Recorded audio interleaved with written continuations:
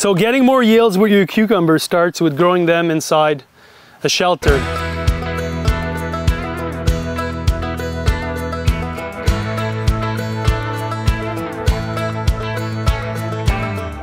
I see a lot of growers planting them, planting cukes in the field uh, because it's easier and it's less probably less time to set up. But man, if you get five times more yield for the same plant, I don't know why you would do it otherwise, to be honest.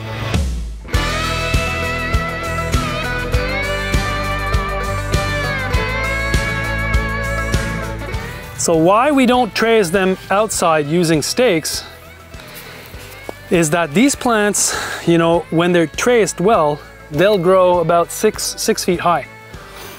And to set up a trellis system like that, honestly, it's complicated. You know, that those shelters, they're four season, they're amazing. We grow greens in the winter. And then, you know, this, this is planted early June. So we've had, you know, a few harvests here before. Now the cukes are going in. When the cukes are done in about eight weeks, we'll be moving on to you know a late uh, late season crop inside that shelter. So it's always it's always about maximizing the space, but also the time, so that you can really grow year round or as much as possible. Always, you know, bumping one crop to another, changing it so that you're maximizing the full potential of your growing area. That's what market gardening is all about. And when you get good at it, when you learn these tricks to really grow the plants well. It's amazing how an acre can be an abundance of vegetable. It can be a lot of work for up to four people.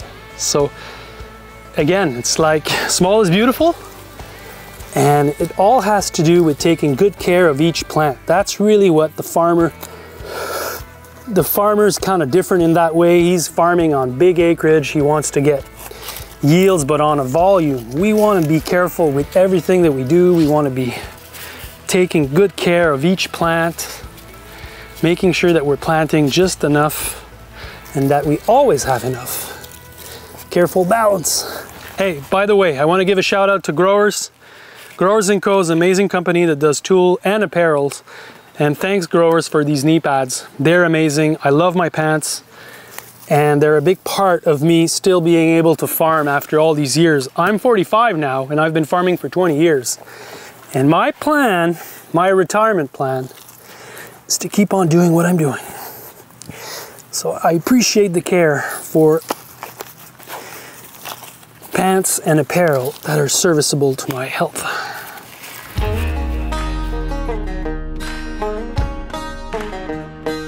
So one of the big problems with uh, growing cucumbers is cucumber beetle. And when the plants are young, the cucumber beetle, you know, everyone knows them. They're striped yellow and black. And they can really chew a lot of the young plants.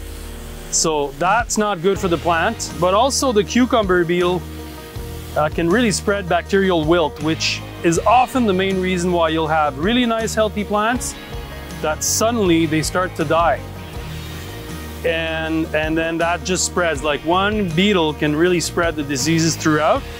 So when we're growing inside greenhouses, we usually have insect nets so that the cucumber beetle can't get in. Uh, in this tunnel, so this is more low tech. This is like what you would have like on a home farm. Uh, we don't have these nets. So what I'm doing is simply spraying with uh, kaolin, which is like just like a powder coated, and the plant, it's a repulsive. So basically, the, the beetle will be repulsed by this coated powder. So it's not gonna attack the plant. We've also put some bedding onto the, the cukes. So this is, uh, this is bedding that we got from a duck farm. It's like a mulch, which is good for the water retention, but it's also, you know, fertilized with, with duck, duck manure.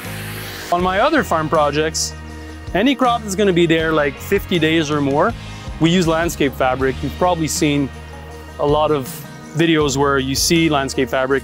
But on this farm, since I want the farm to be really beautiful because you know we have like up to 8,000 visitors coming here this summer, you know, it's just landscape fabric. If I can use something else that looks better, I'll use that. And the, the garden is small enough so that I can manage the workload of putting mulch over the crops. So I learned how to trellis cucumbers like this many moons ago. Uh, when I was starting in market gardening, Maude-Hélène and I at La Grelinette, we were lucky enough, really lucky, we were kind of the first small micro farm to be part of a program here in Quebec where really seasoned greenhouse growers came to our farm and then with them over two years they showed us a lot of the a lot of the proper greenhouse techniques that really professional growers greenhouse growers use and those. That's where we learn how to graft.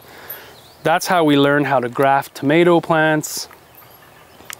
We also learn how to you know trace prune uh, tomatoes indeterminate tomato plants really growing them to be super like 12 feet long, lower and lean them. And cucumbers was definitely one area where we needed to learn because we were having a lot of problems with the cucumber beetle, with crops that just weren't giving enough fruits for it long enough. And when we learned from, from that group of experts, our yields went fivefold. And that was really encouraging for us because our strategy at La Grelinette has always been to get more yield out of the same acreage because we didn't have more land. So learning greenhouse techniques was a big part of us becoming much better growers and getting more yields and increasing our bottom line about three folds. So now greenhouse produce, tomatoes, cucumbers, eggplants, bell peppers that we also do in a very greenhouse type way it equates to about one third of our revenue on the farm. And, you know, we learn how to get three to five times more yield per square foot with these techniques. And since we learned these techniques, uh, we practiced them for many years. Uh, some of them are kind of talked about in my book, The Market Gardener, but really, uh, at FQT Farm, the other training farm, that's where I really developed the skill. And that's what I teach in the master class. And so a lot of growers have learned from us over the years. And I think that even home gardeners can learn a lot about these small, simple techniques. It's all about maximizing yield. But there's always a part where there's a skill set that you need to acquire. And that's what learning and teaching is. And that's what I'm really excited about now.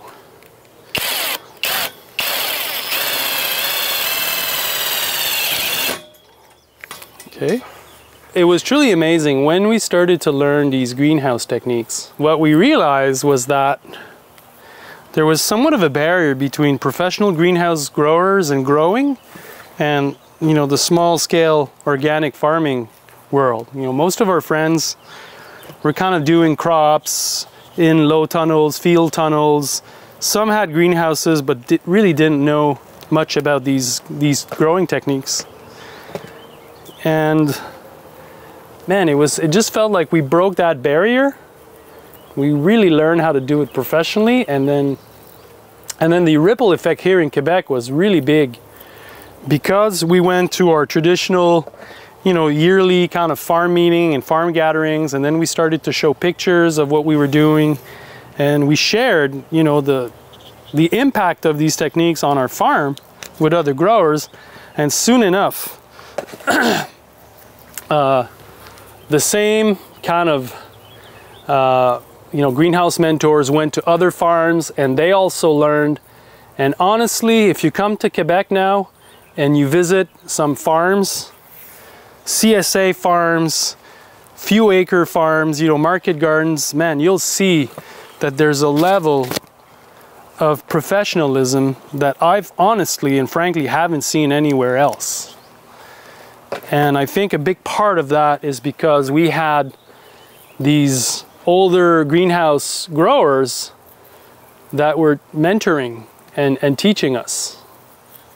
And so, man, I've seen it firsthand, the consequences and the impact of that. And man, I have to say, like if you can increase your yields and your bottom line couple fold, learning is a big investment. So once this is set up, everyone, It's really straightforward. The plant is gonna climb up the string. Every week we'll come and roll it around. Eventually it's gonna reach the bar. And when it reaches the bar, we're gonna use this uh, super interesting strategy called the umbrella trellising system. And if you wanna learn how to do this, you can click on the video here on the screen. I hope this was helpful. I hope you guys are doing well. I'm doing well. I'll see you next time, friends. JM out.